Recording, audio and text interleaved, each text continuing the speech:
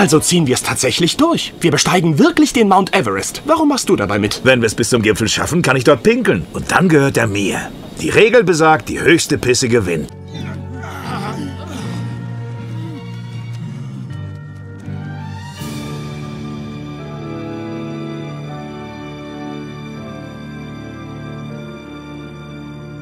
Ich glaub's nicht. Wir haben's geschafft. Wir haben den Mount Everest bestiegen. Ist das nicht umwerfend, Brian? Man sieht bis hinunter... Oh, die Pinkelgeschichte, klar. Auch wenn ich den Sinn nicht verstehe, wie sollen das hier oben andere Hunde riechen können? Glaub mir, Stewie, sie riechen es. Sie werden wissen, dass die Welt jetzt mir gehört. Fick die Henne.